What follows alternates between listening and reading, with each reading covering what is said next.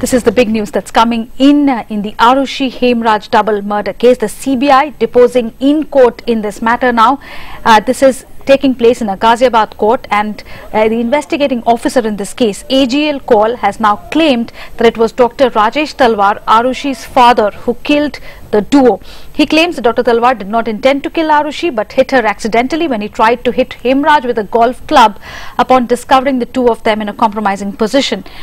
Kaul has also said that he wanted to arrest Arushi's mother Nupur Talwar but was told not to do so by his senior officer.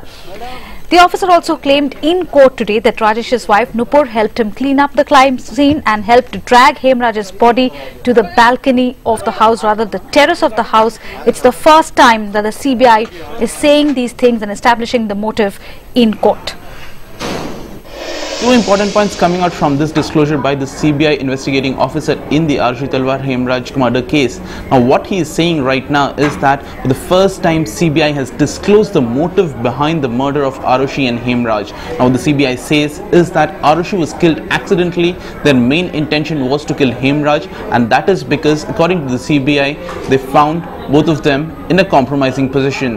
Now the second important point coming out is this that they seems to be upholding this position which was taken by the uh, UP police in 2008 when they had gone ahead and arrested Rajesh Talwar and said that uh, they had gone ahead and killed both of them because they were found to be in a compromising position. Now these two are the important disclosures which is coming in in a very late stage of this trial. Remember this is the he's the last of the prosecution trial. After this the defense witnesses will come in and finally the cross examination will take place. Now what will happen in this case is anyone's guess right now. We'll have to wait and watch for the order which is expected to come out sometime in July.